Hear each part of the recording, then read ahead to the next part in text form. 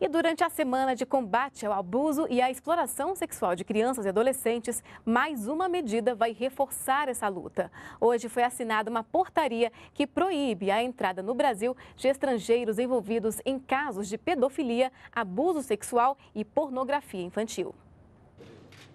Tolerância zero. Este é o objetivo da portaria assinada entre o Ministério da Justiça e a Secretaria de Direitos Humanos.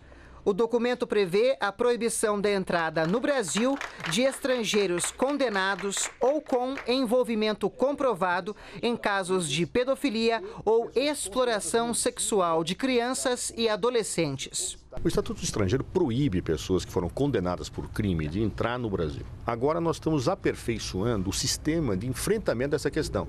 Não só pessoas que praticaram crimes, mas pessoas suspeitas e envolvidas em processos dessa natureza serão barrados. Nós estamos ampliando o universo de informações acerca disso e organizando uma estratégia clara do Estado brasileiro de impedir que pessoas eh, eh, que tenham praticado esse tipo de atos ou estejam envolvidos neles eh, entrem no território nacional. A meta é combater estes crimes durante a Copa do Mundo, quando são esperados, segundo o Ministério do Esporte, 600 mil turistas estrangeiros no Brasil.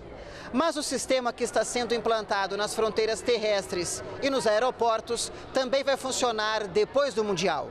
Para rastrear os criminosos, a aposta é a tecnologia. Uma base de dados internacional vai ser complementada com uma nacional.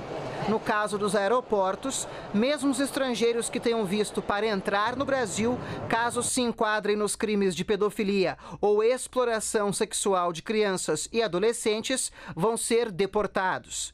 A Secretaria de Direitos Humanos ainda vai ampliar durante a Copa o efetivo do Disque 100, que recebe denúncias em 25%. A ordem da presidenta Dilma foi muito clara: integrar todo o mecanismo de repressão federal, estadual, municipal e toda a rede de proteção federal, estadual e municipal.